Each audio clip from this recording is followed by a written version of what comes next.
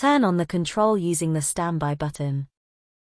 Press the mode button until the clock is displayed in the top right corner. Press and hold the mode button until the display shows double zero, with the number indicating the day is flashing. To adjust the day of the week, use the plus or minus buttons. Confirm by pressing the mode button. The first two digits will be flashing indicating the hours. Use the plus or minus buttons to adjust the hour. Confirm by pressing the mode button. The second two digits will be flashing indicating the minutes. Use the plus or minus buttons to adjust the minutes. Confirm by pressing the OK button.